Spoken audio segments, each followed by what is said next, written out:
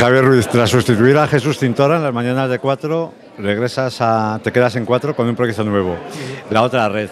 Un programa de actualidad política con vídeos, eh, tertulias, eh, reportajes. Cuéntanos, ¿qué vamos a ver?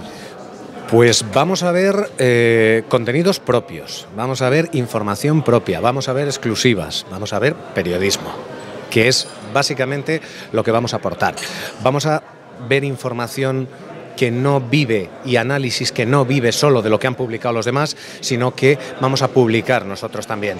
Yo vengo de Informativos 4 después de las mañanas y creo que para un periodista decirle que vas a poder hacer periodismo, que vas a aportar información nueva, que vas a poder dar contenidos nuevos y que luego vas a poder hacer análisis de ello es, en fin, un privilegio. O sea que yo estoy encantado con el lujo ahora mismo.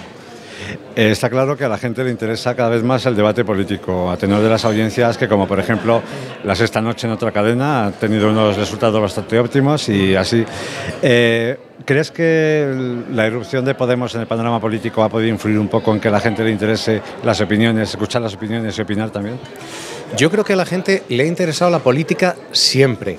El problema es qué entiendes por la política a la gente no le ha interesado la vida de los partidos políticos, le ha interesado cómo le afecta la cosa pública a ellos, es decir, la política de puertas adentro.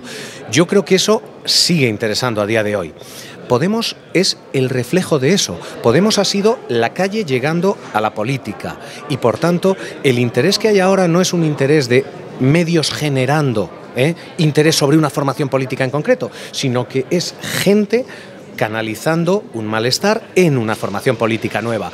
Por eso hay ese interés y yo creo que sigue habiéndolo y es que la gente se siente muy reflejada en ello. Yo creo que lo va a seguir habiendo. Insisto, mientras la política no sea hablar de cómo se organiza de puertas adentro el PSOE o el PP, sino que sea de cómo les afecta a los ciudadanos de puertas afuera las decisiones de PSOE, PP, Podemos, Izquierda Unida y compañía. Por eso, como a la gente lo que le interesa es su día a día, digamos. En tiempos de crisis, eh, la economía también les interesa y tú siempre les has explicado, lejos del, del faragoso terminología de macroeconomía, has explicado con un lenguaje muy sencillo la actualidad económica. ¿Tú crees que por ser crisis, eh, por la crisis esta tan acuciante que tenemos, a la gente le interesa más también la economía? Yo creo que debiera. No sé si le interesa, porque en tiempos de crisis no siempre aumenta el consumo de televisión, lo cual es una de estas cosas raras, porque debiera.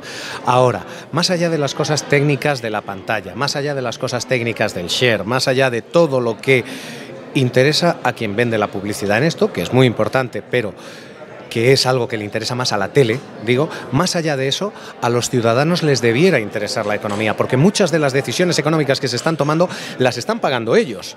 Los rescates bancarios los están pagando los ciudadanos, los tipos de interés los están pagando los ciudadanos, las situaciones de tensión con la deuda las están pagando los ciudadanos. Luego, no sé si les interesa, pero les debiera interesar y los periodistas debiéramos hacer que les interese, debiéramos explicárselo a la gente para que la gente entienda cómo le afecta. Con lo cual, insisto, yo creo que les interesa, pero si no, debiéramos esforzarnos porque les interese. Digo, nosotros lo vamos a hacer.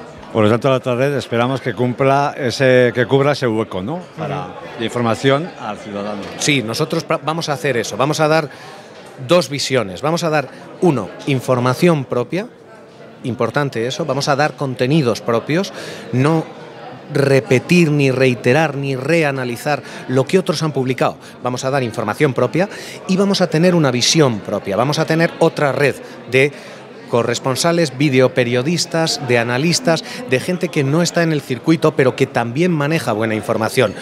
Esas dos cosas son al fin y al cabo lo que hacen un buen producto periodístico, tener buenos contenidos y tener un punto de vista propio. Las dos cosas las queremos hacer.